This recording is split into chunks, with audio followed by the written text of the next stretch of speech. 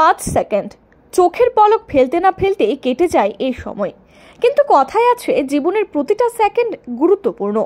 সে কারণে এই সামান্য পাঁচ সেকেন্ডেও বদলে যেতে পারে আপনার পৃথিবী। ভাবছেন কীভাবে? সেই তথ্যই সামনে তুলে ধরল কেন্দ্রীয় সরকার। প্রধানমন্ত্রী মুদ্রা যোজনার আট বছর পূর্তিতে সরকারের তরফে প্রকাশ করা হলো এক দারুণ ভিডিও, যেখানে প্রতি সেকেন্ডের হিসেবে দেশে কি কাজ হচ্ছে তা তুলে ধরা হয়েছে। কেন্দ্রীয় সরকারের অফিসিয়াল টুইটার অ্যাকাউন্ট থেকে পোস্ট করা ভিডিওই বলা হয়েছে, প্রত্যেকে পাঁচ সেকেন্ডে সরকারের তরফে পিএম মুদ্রা যোজনার অধীনে পাঁচ লক্ষ টাকা ঋণ দেওয়া হচ্ছে। বিগত আট বছরে ঋণ বাবদ মোট তেইশ লক্ষ কোটি টাকা সাধারণ মানুষকে দেওয়া হয়েছে।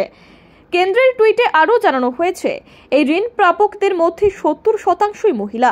পিএম মুদ্রা যোজনার ঋণ পাওয়ার ফলে দেশে প্রায় একচল্লিশ কোটি উদ্যোগপতি তৈরি হয়েছে। এদের মধ্যে আবার আট কোটি ঋণ গ্রহীতা প্রথমবার উদ্যোগপতি হয়েছেন, অর্থাৎ সরকারি ঋণের সাহায্য পেয়ে ব্যবসায় পা রেখেছেন। প্রসঙ্গত, জীবনে যারা নিজের পায়ে দাঁড়ানোর জন্য ব্যবসা বা অন্য কোনো উদ্যোগ শুরু করেন, তাদের আর্থিক সাহায্যের জন্যই কেন্দ্রীয় সরকারের তরফে পিএম মুদ্রা যোজনা প্রকল্প আনা হয়েছে।